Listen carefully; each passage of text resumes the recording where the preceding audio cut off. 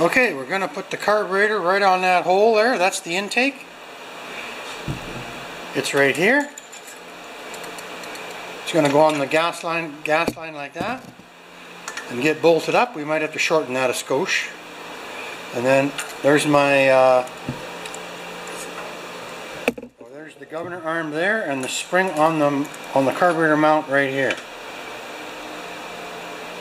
Right there.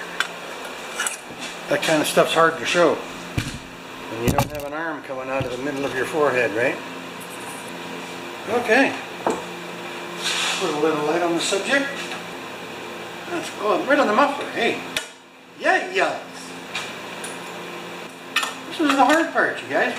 I might have to shorten that gas line a little bit. Okay, so this went right to there. The middle one. Go figure. That's where all the scratches are.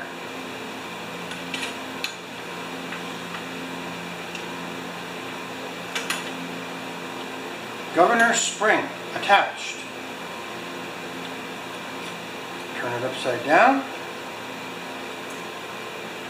Shut off. Working. Barely. We stick that on. Stick that on the one carb bolt that's there. Good. Now, I got to measure to see how that plugs into the other one. And I think I need a throttle arm to the throttle. Well, here it is right here. This is a really complicated old machine. Eh? I'm just dealing with the throttle cable right now. Okay, I gotta get my act together, guys. I'll be right back. All right. Well, I consider myself an old-time Tecumseh mechanic but I had to take the muffler off and then I could get out that screw there. There the carburetor screw. And then I also had to take the gas line my new gas line off and put it back on again. But we're there. Choke open. Choke open. Can you see that? Yes you can. And then throttle is a little sketchier. Feels like the uh, ah yes it is the uh, arm is rubbing on something. There we go. Good. So I'm going to go just have a break. I don't have any parts left. I had to supply one of my own nuts, a fine threaded nut. And we have one nut left for the, uh, one nut left for the box that goes over top from the starter. That's okay. I'm gonna get some water, have a little break. Thanks, guys. All right, guys. Everything's on, but the cover and the three cover screws. Two of them go into the carburetor and one goes into the housing. Actually goes into the muffler. What I'm going to do now, that we have control over this bad boy, I'm going to stand it up on its nose and I'm just going to oil the chassis a little bit and see if anything's going to be an issue. I don't even know if that's forward or reverse. D for drive.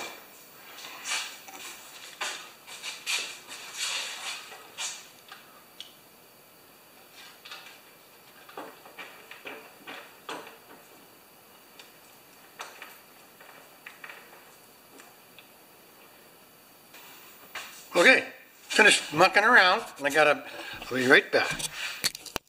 All right. Now, we're gonna try and start this old girl. This is the moment of truth because I don't, I'm not getting any um, motion on the gearbox. Put some fuel in it. How many glurt? Well, yeah, we gotta open the uh, fuel valve too. Let's just put six or seven glurps in there. My glurps are getting running thin. And here's the gas valve. So it's now sending gas to the carburetor. And if I push up on the little valve here, I should get gas flow. And I do. So now the main thing, when I hit this starter button and we go to choke, like that, we should have fire. You ready?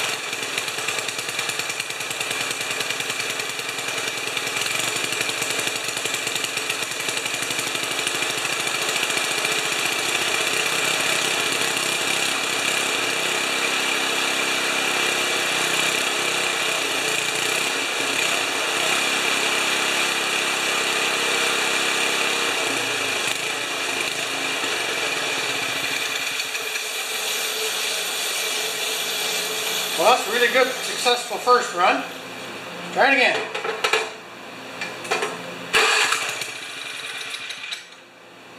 Don't need to choke now.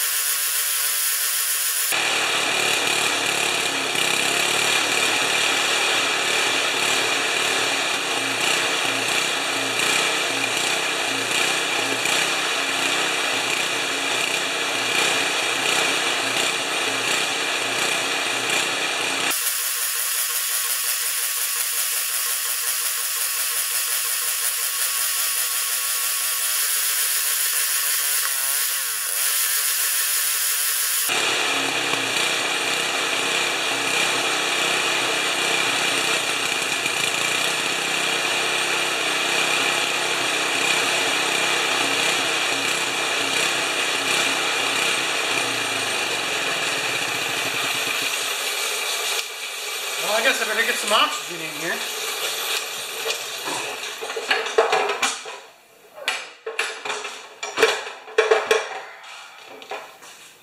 A little surgy, I'm not happy with that.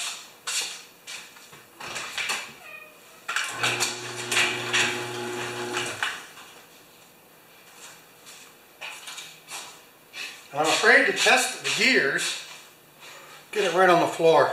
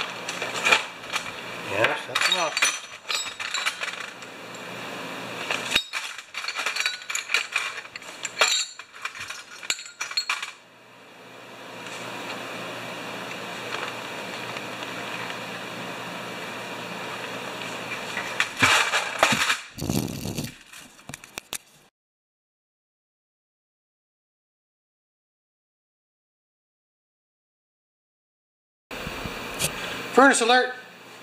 Alright. Let's bring this in a bit so you can see, maybe. Can you see this box right here? I had no leaks on the carburetor until I installed the heater box. This is called the heater box. And on snowblowers, even back in 1973, there were no uh, air filters. But the cable to the starter is really tight and it goes around the carburetor. I can feel it just pulling the carburetor over to that to that direction. Right? So I'm going to take this off, find my leak. It might even be on the main bolt. We don't know. See, there's the gas is turned off and it's still leaking a little. Could be just the rubber O-ring on the new needle. I don't know. Ah, I hate leaks. This is an amazing one. Usually these boxes, I'm yelling because of the furnace. Usually these boxes, the original screws are all gone. But because this is a hard machine to use, it wasn't used much. Okay, let's just do this. I'm ready to say goodbye to this guy. Okay, can you see right here? Yeah, I think you can. So there's two screws that go into the carburetor at the bottom, and one goes into the muffler at the top.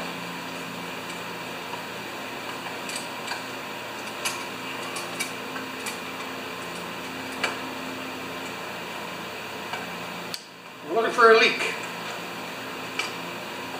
See how it pulled over as soon as I disconnected it?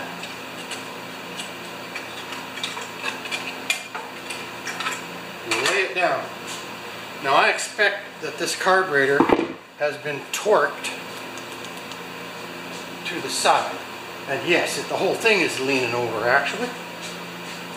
It's not closing off the fuel. 7 16 ratcheting wrench. Put a rag down. There will be some spillage. Still dripping. I thought that gas was turned off. Now I had a quarter of an inch of gas in the tank last night when I found this. And I still do. Okay.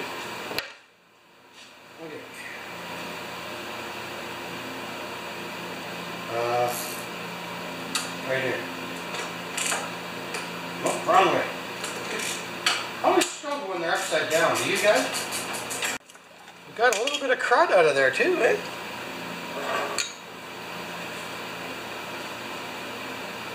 Now, is the whole carburetor jiggered off to the side or is it just the uh, needle in the seat? I'm going to let a little gas go.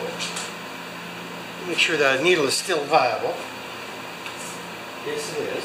Just let some gas go.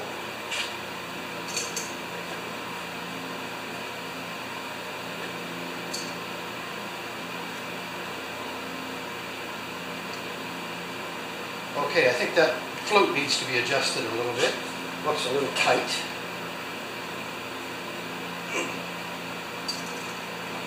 I'm going to jack this up a little bit more. I always bang my head on the handles on these. I'm going to do a couple of things. That's as high as she'll go.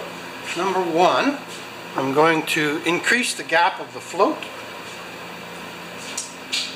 Going to need good light for this.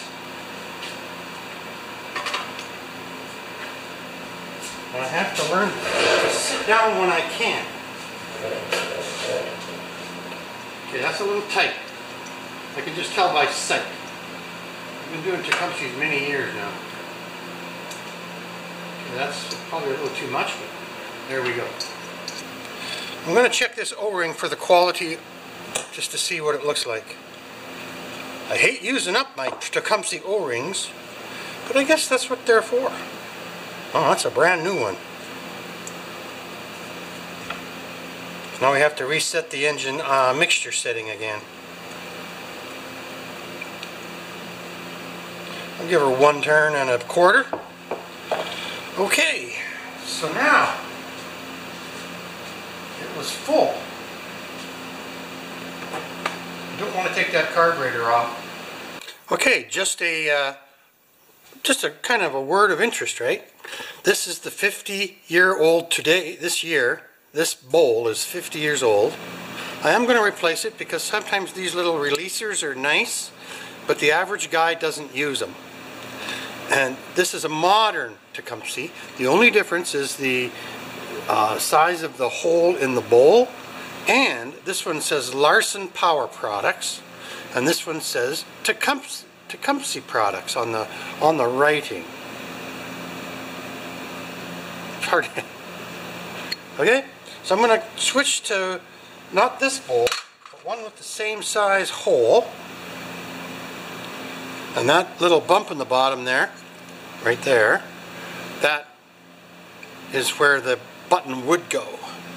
Okay, hi guys, I'm back. This is just a small Tecumseh lesson. Tecumseh Lauson carburetor lesson. This is the carburetor, right? The bowl goes on like that, and then the float floats in the gas. Are you with me? This is this is like 101, right? And the gap between here, here and here is very important that it's set properly because that determines when the when the float stops and how much fluid floats in the bowl. So this little tool, and I use it quite a bit, not every time, but quite a bit, probably once a week, because I get a lot of Tecumseh stuff in here. This tool is number 670377. Let's see if you can get an eye on that. Yes, you can, baby. And this little wedge that's cut into the tool on the handle, right there, that flat spot, that's to measure the height of the bowl, right? Can you see that? And right now this bowl is just a, a, a tad high, which means that the gas in the in the uh, carburetor is going to be a little bit low. And this is important. And the one that was on this machine, that I've got on the machine, it was set, I never really checked it, but naturally it sat for 50 years. The gas level in the carburetor was a tad bit high. So what I do is I put a screwdriver in here like a fulcrum, and I just bring it down, and I bend Where's another? I bend this tab, which has the needle on it sitting like that, right? That's just sitting like that.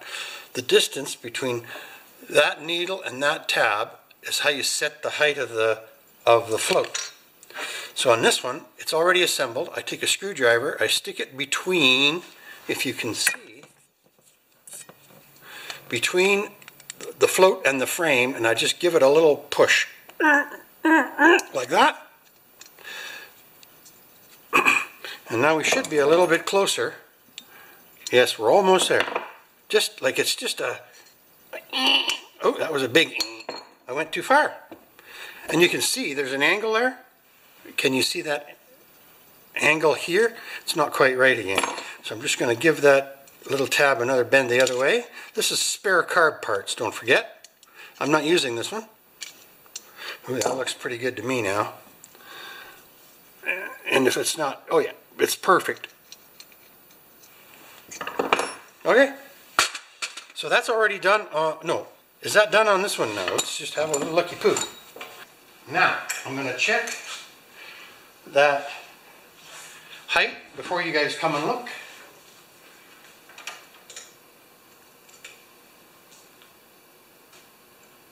Perfect.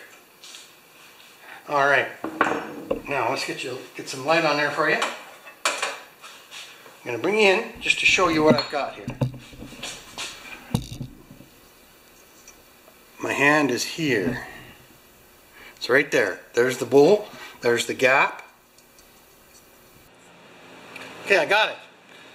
This O-ring was just a bit too fat, and it is actually an original Tecumseh O-ring from the 631021 Baker. But this carburetor is so old that I ordered some very good because you can't get it's very hard to get the OEMs anymore. I ordered this this little kit. Originally I ordered a kit of 10 that were terrible. But the, the thickness of this O-ring works both on the ones with the primer bulb and these old ones without the primer bulb, just the choke. So now I'm going to tighten this guy up. We got two problems still, right? We have to set the mixture at one and a quarter turns to get our logs out of here. Oops. You guys gotta watch. Are you watching? Yes, you are. Always somebody watching me in here, eh? Not to be morbid, but if something happened to me, you guys would be watching. Trying to get a hold of Trudy. He said, 911! Turn on the gas.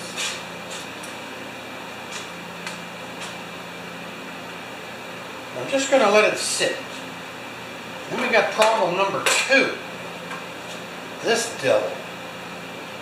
I'd love to move it to the other side. I'm not going to worry about this now. But I am going to use the automatic juice starter. Open a door.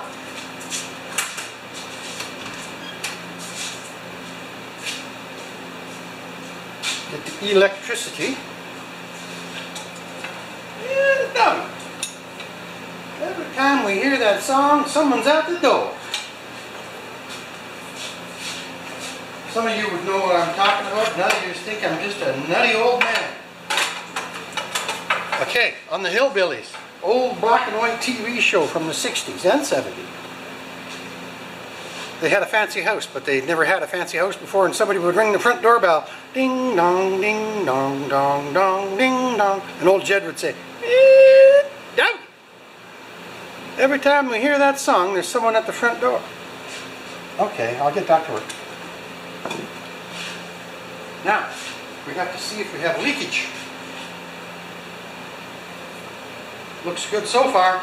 Okay, we need full choke, mid throttle, right on. We this okay. This thing.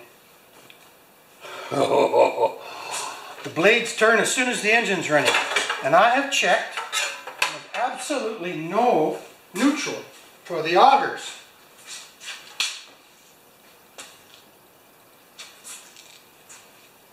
Isn't that wild? That should just fire right up. Nothing's in the way. The augers aren't going to hit the pender lift.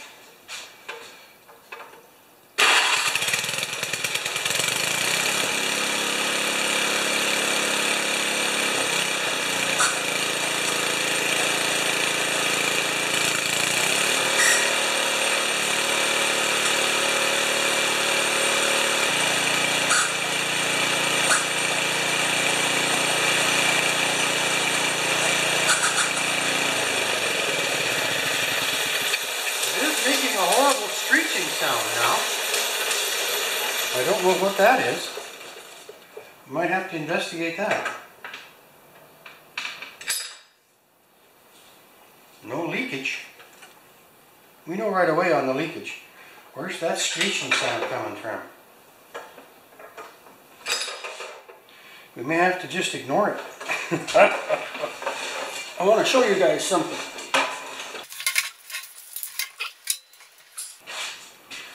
Look at this in here. Are you guys still watching? Yes, you are.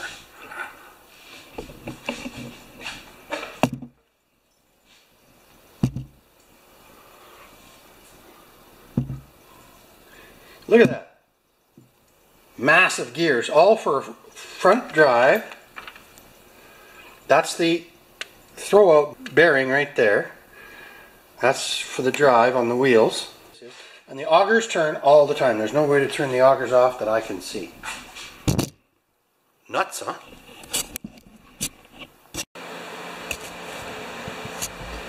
Okay, here it is.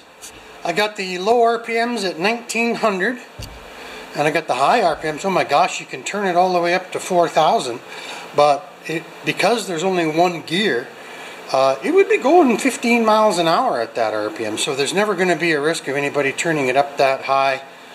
Uh, anyway, uh, there's no stop, like throttle stop for that high RPM.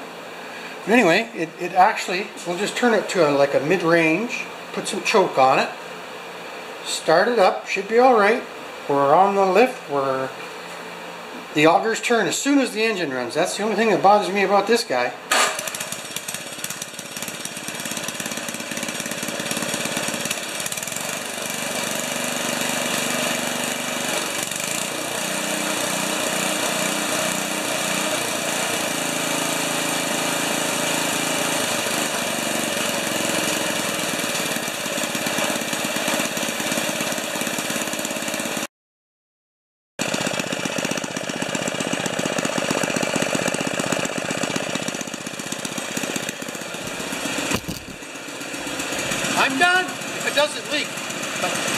need this one anymore. Thank you very much. Oh yes, you will. one second. So I put stops on here. Because if we came, this is for the chute adjustment. If you went past that point, it wouldn't move. And if we went past that point, it wouldn't move. So that's good. And it actually hits on the bracket here. Right there. And there. You know what that is? It's just electrical tape. Done tight. Then the last four wraps are loose. It won't undone. So yeah, we're looking pretty good here, guys.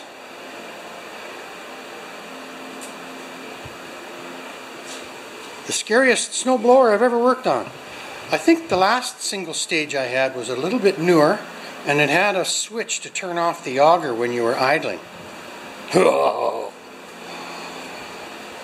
So I'm just going to check underneath for the leaks again, like I said I wasn't going to do. It's dry. We're good. Thanks a lot. Over and out!